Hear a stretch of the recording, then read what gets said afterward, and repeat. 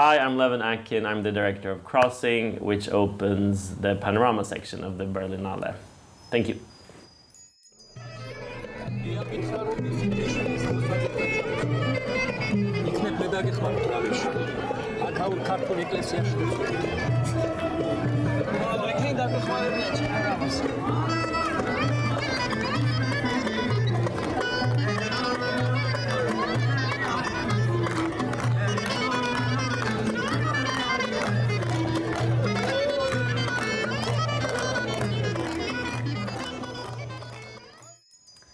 Hi, welcome to the Teddy TV. My name is Zsombor Bobák, and now we are talking about the film Crossing. Hi, welcome to the Teddy. Thank you. Thank you so much for being here. Um, your previous film, And Then We Danced, um, I read it in an interview that you did extensive research Mhm. going into the film, and I was wondering, was the process for Crossing similar? Uh, yes, it was. And actually, uh, there were some seeds planted for Crossing when I was researching, Mhm. and then we danced. So that stayed with me. Yeah. And then I kept going with Yeah. that those seeds for, for Yeah. and then we uh, for Crossing. Yeah, can you guide us through a bit of yeah, this sure. like research process? yeah? Yeah, of course. So um, usually, I mean, in this case, I heard a story when I was doing, and then we danced about Yeah. a grandfather who had a, a, a trans grandchild, Yeah.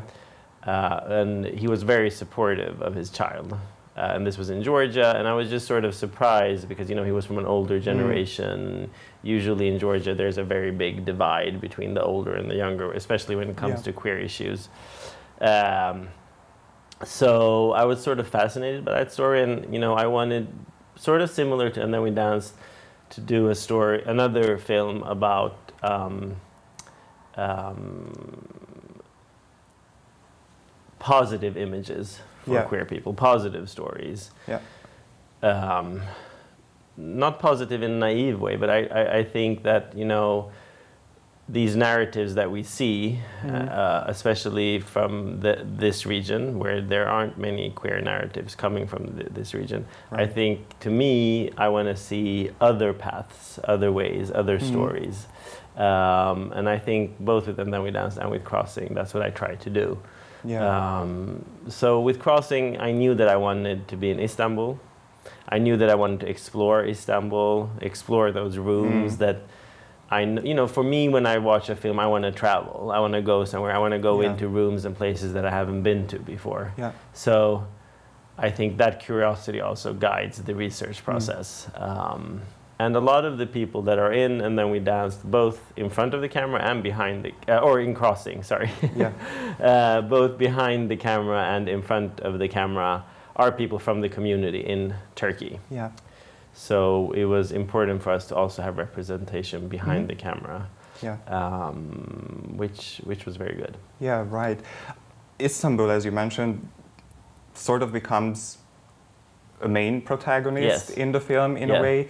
Can you talk a bit about what role did exactly the topography of this city play in the movie? Of course. So I have a very personal relationship with Istanbul myself. I used to, uh, as a child, go to Istanbul because we had relatives there, and then Mm. we used to take that bus from Istanbul to the Black Sea and then to Georgia. So I've done that journey many times Yeah, myself, I and. I think that's also one of the reasons I wanted to capture Istanbul and that journey on Mm-hmm. film. And to me, Istanbul is a, a fantastic place. It's a place that always changes. It's a place Right. that's very, very hard to sort of catch. And you know, they say there's like 15 million people there, but Mm. probably unofficially there's like 25 because there's so many Mhm. undocumented people. And it's a place that's constantly changing, you know yeah. the demographic is changing, the landscape is changing. There's always, you know, they're always building something new, and it's a city that you can really get lost in. And I think Yeah. it's one of the few remaining that I know of. Sort of, maybe you know, Mexico City is probably similar, but cities that feel very, very alive and vibrant and a little uncontrolled. Mm. Yeah. And I feel like, you know, they mentioned that in the film, but it is a city where you can probably Mm. get lost yeah. and never find your way out. Yeah. So if you want to get lost, like Istanbul is. I think that's a way. good place. way yeah, a good place. Have you been there? No, No. unfortunately not yet. No. but definitely the film made me Okay, good. made me feel like I would Okay, like good, to good. venture out. That's nice. Um, the trans community in Istanbul is a very integral part of the narrative, Mhm. and you said that a lot of people from the community worked on the film as well. Um, I'm wondering how did you approach the portrayal of this community in the film, and what Mhm. ethical considerations did you take into Um, account? Um, I, um, you know, first when I came there, I really didn't know anyone in the community. Um, so the production company that I was working, that we were working with in Turkey, introduced me to different LGBTQ plus Mm. um, organizations, and one of them is Pink Life, and they're also part of the film, and they work with uh, trans people and trans rights in uh, Istanbul and in Ankara actually. So.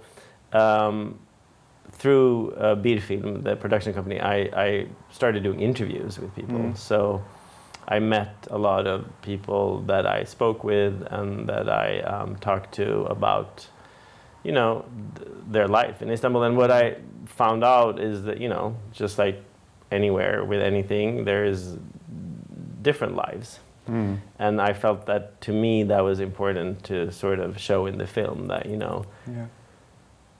th- yes, there are different Yeah.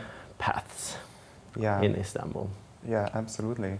Um, as we talked about your previous film, And Then We Danced, dance played a major role in that film, but in Crossing, it's equally important, I would say. There are many um, scenes and many moments where people connect through dance. Mhm. What draws you to dance so much, and, and where do you see this importance of it? That Um, I used to dance, believe it or not, when I was young. Oh, cool. Uh, so I've always loved dance myself, Yeah. and I always, you know, I have a soft spot for dance and dancers. Um, and um, um, I just think there is, you know, there is something that happens between people in dance. Uh, and uh, in the movement, and you can portray a lot of emotions and say a lot of things, and you can connect people through dance. yeah. and I think that's why it always plays an integral role in like I think every film I've made actually. Okay. I've always yeah. had dance Yeah. things, scenes. Mm. Yeah. I think every film should have some dance. Yeah, probably it would, it They, would make you need, it's like you know sex scenes. You need sex Yeah. scenes. You need dance. Yeah, it's always a good. yeah, it's a good way to Yeah, talk yeah, without much talking. without with your body. Yes. Yeah, yeah, absolutely. Um, language becomes also very important, and there is this um, kind of title card in the very beginning of the Mhm. film saying that Georgian and Turkish are both languages that Mhm. Are gender neutral, that are yeah. gender neutral. They don't know like grammatical gender. Um, and I had to wonder while I was watching the film. I unfortunately don't speak either one of those Mhm. languages, um, so I had to rely on the English subtitles, Mhm. which is a gendered Yeah. uh, language. And I was wondering, is there something that goes missing when you are like, I mean, I think so in a way because, for Mm. instance, Lia, the retired teacher Yeah. who's looking for Tekla, never mentions Tek, Tekla by her. You know, she's always like Yeah. talking about her as it or the, Yeah. which is also a way for her because she's not really accepting Tekla as you know. She says in the beginning of the film, "Well, you know, what's her name?" And she's like, she calls herself Yeah. Tekla. She doesn't say she calls herself Tekla. Obviously, she says yeah, um, they call themselves or it calls itself Mm, Tekla. yeah, And I think that's a little something that gets lost a little. Yeah. That you know she doesn't instantly accept her her gender identity. yeah, yeah, Um, that comes you know later in the film. yeah, absolutely. Yeah, no, that was just Yeah. interesting uh, Yeah. in that way because I also do speak a language which doesn't recognize okay. uh, gender, and then Ah. I know that sometimes it can be a bit Yeah, tricky. Tricky Yeah, it was a little that. tricky actually. Yeah. Yeah, yeah, yeah, I can imagine. Um, one very interesting part of the film was it was not really in the center of it, but we kept on going back to um, Evrim's legal process Mhm. of trying to get Mhm. um, documentation for herself. Mhm. Can you talk a bit about this process? Yeah, of course. So that was part of, of the research that I did. Mhm. And I felt that, you know, that whole situation is so absurd.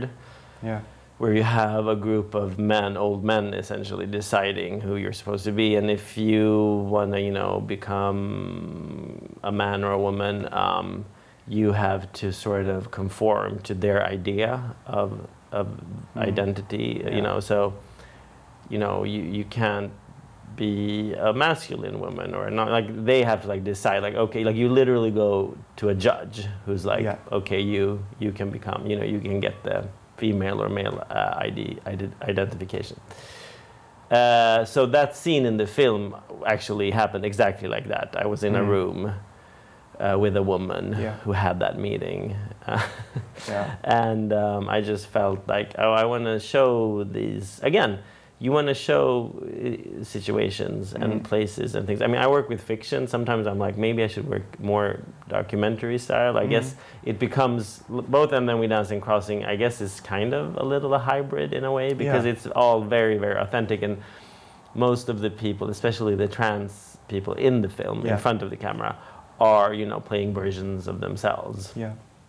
so so yeah i think i think you know for me it was important to show that process and just Mhm. sor- sort of show the absurdity of it but again i think i don't to me uh, you were talking about the ethical aspect of it before of, Yeah. of the portrayals Yeah. i mean for me it's important as a cis man i, I feel it's extra also important i don't want to i'm not interested in in um, the sort of horrors or the negativity of things Mm. they're there in my films they exist in the background Yeah. you can feel it you understand it's a realistic portrayal but i'm more interested in showing moments of solidarity moments of kindness between Mm. people um, Yeah. i feel like i miss that in the world right now and i just want to watch a film where i don't have to sit and be like oh Mhm. no something bad's going to happen like i'm, I'm, I'm, I'm yeah i can Yeah. barely watch Yeah. tv anymore because i'm just like afraid like if somebody Yeah. recommends something i'm like